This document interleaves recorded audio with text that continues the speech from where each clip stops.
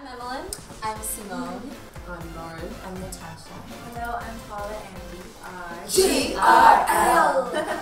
So for people that don't know you over here in the UK, tell us a little bit about, you've already given us the name, so give us a bit, what, what, what can they expect from your album and your style of music?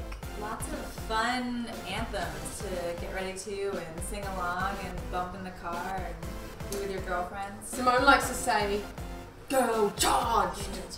Girl charge anthem. They're, yeah, they're all really empowering. Yeah, like because when we were a girl group, so we have the song. One of our singles is called uh, "Girls Are Always Right." What is the craziest thing that's happened so far? Why'd you look at me? This one is full of the craziest, craziest stories. She's our bad girl, rebel, crazy girl. I'll, I'll, tell, I'll Yeah, give you a little snippet of what I think that happened. We, we, we went on tour. We had a little radio tour in the US, and we had uh, we had like three days off. And uh, um, We were it in was the- Ohio. yeah, Oh, it was the no. first three days we had off in what like a long time. and uh, we was like, oh, It was go Ohio. State football game. And it was like game. a college football game, and so everyone was out, and we went to like one of the bars, and we were like just dancing all over the tables. People were like video. Y'all us. aren't from around here. Yeah, she got off the stage, like dancing along, and then all of a sudden she was like down on the floor. So it's basically a scene from Coyote Ugly, right? Something like that. We're over in the UK, I've got to ask you to do like a UK accent. Come on, I oh, love it. Well, you know, I'm really good at it sometimes. No, I'm not. We're Australian. Was that Australian? No. See, awful. What well, about you? now that you put me on the spot, I don't really know what to say. But you know, I guess I guess one of my You've favorite things. haven't you? Look at that from the True Brit. Well, Well, makes me yes, feel- I'll do my American accent since I'm already English. so I just like talking Valley Girl and like, oh my god, it's so amazing. What you trying to say? Walked in here and there's a cutout of Mr. Styles out there. Oh yeah, we saw Oh, that. Come on, talk One Direction with me.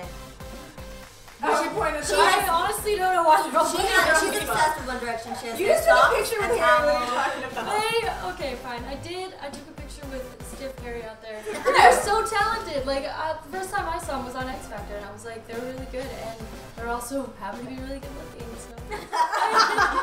Talk to me about Pitbull. Oh yes, he's a charming man.